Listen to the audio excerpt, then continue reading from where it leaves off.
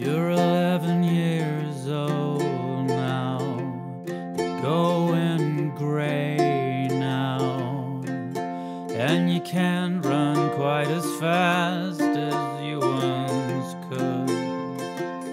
You'll soon need glasses, tree watering classes, or maybe that's not something you'll forget.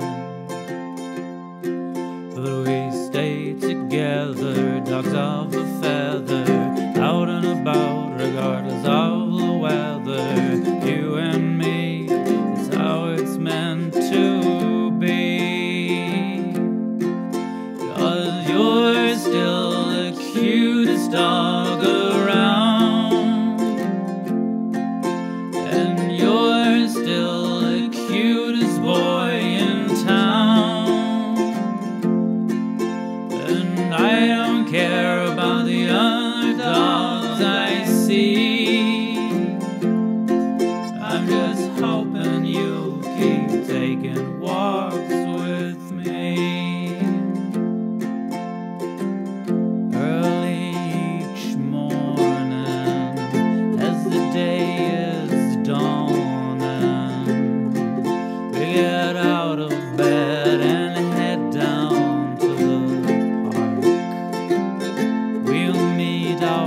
friends there.